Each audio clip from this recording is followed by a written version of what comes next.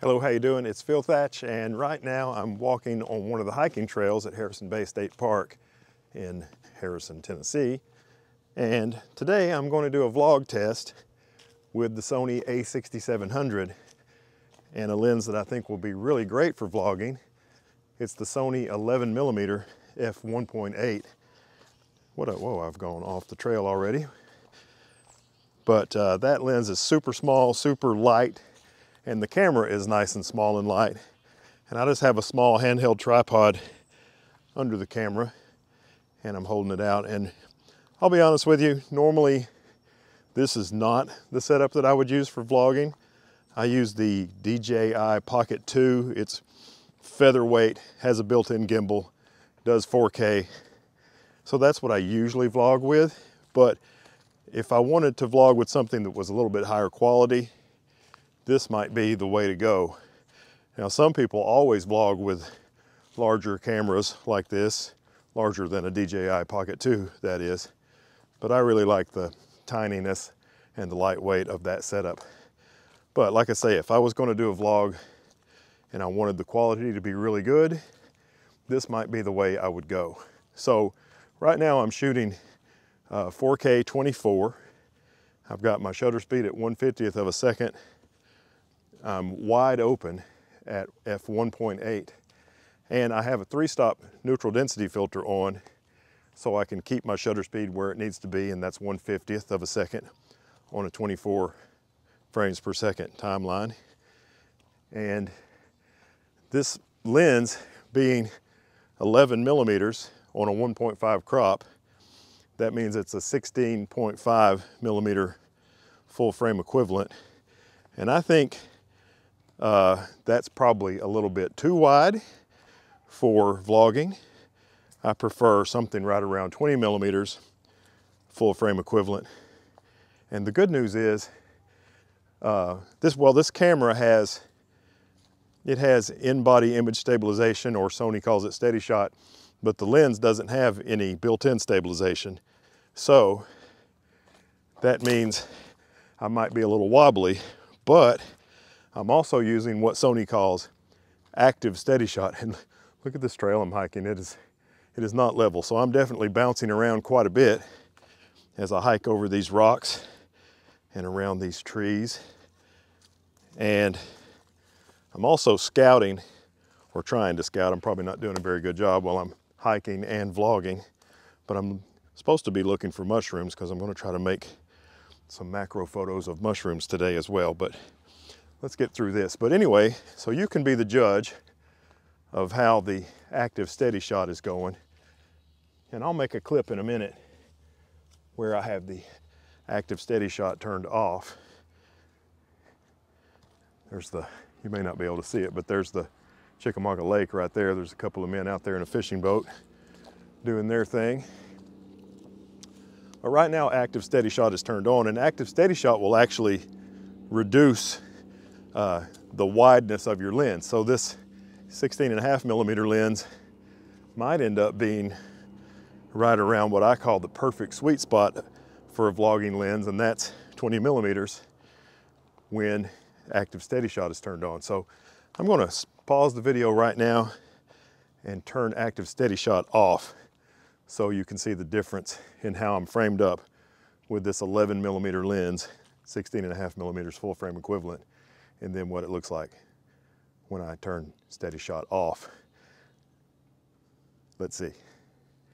Okay, now I have it on what's called standard steady shot, which I believe that just has the, the IBIS in the camera on, but no, no uh, digital stabilization, which is what active steady shot is, and that's why, it's, that's why it zooms in a little bit. And you can see there's, there's, it's definitely a much wider shot, which actually while I'm looking at the camera, it looks pretty cool, but it shouldn't be, and I, I really can't tell as I'm hiking and just trying not to fall down on this rooty, hilly, bumpy, rocky trail. But I, it should probably be a little less steady with active steady shot turned off. This trail is not very long, and when you get to the end of it, it comes out at the lake. So I'll show you that. And then I'll turn steady shot back on. Actually, you can turn, I've got steady shot on, which I think is the IBIS, and I had active steady shot on. I think next I'll show you what it looks like with no stabilization whatsoever. But first,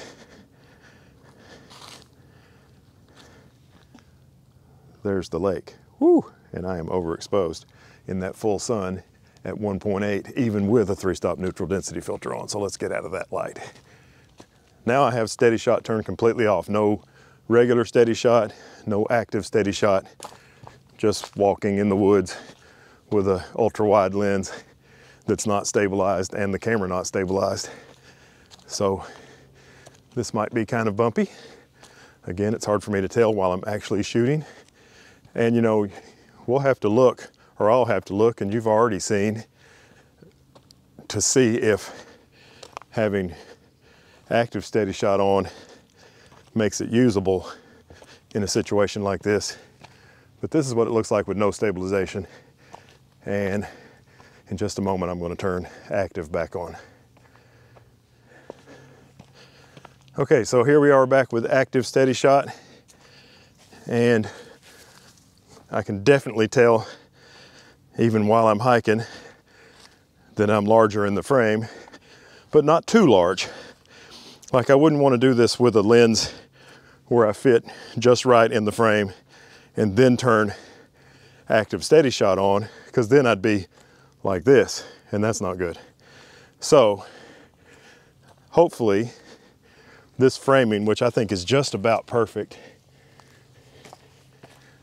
is also acceptably steady. And even though this camera is nice and small and light, and this lens is just ridiculously light, and I'm using the Rode Wireless Go version 1 as my microphone system. Uh, I've got my I've got my uh, exposure compensation set to zero. So however the camera is framing it up, automatic ISO, and my white balance is on automatic W, which is auto white balance that tries to get the whites just right, which is kind of the way I like it. Either that or I'll put it on sunny white balance. But anyway, even though this camera is, woo, almost fell.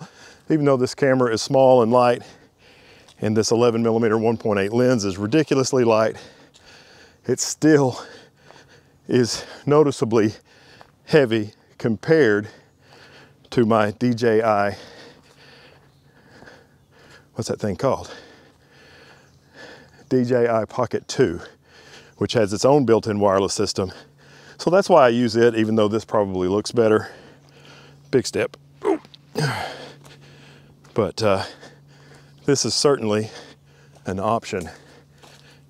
And uh, I think there may come a day when there's a situation where I'm trying to make something that looks a little bit better than, than my regular twice a week videos, where I may use this. Now, if I'm doing something where I set a camera up and I just sit there and talk to it, then I use my Canon R6 Mark II is usually what I use when I'm just sitting there talking to a camera. But uh, even though some people I'm sure vlog with that, that's just too heavy for me to vlog with. But this is pretty light compared to even that camera. And that camera is pretty light compared to what some people vlog with. But uh, so there you have it.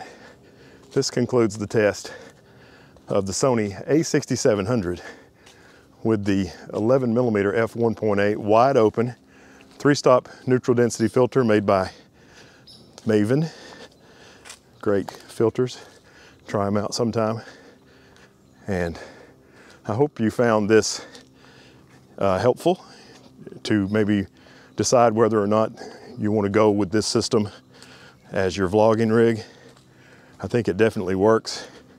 And again, it's a little heavier than my normal rig, but definitely higher quality and you can be the judge of how well the active steady shot works.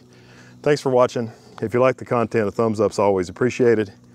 If you want to see some more stuff like this, subscribe and hit the bell. And as always, I look forward to seeing you in the next one. Bye-bye.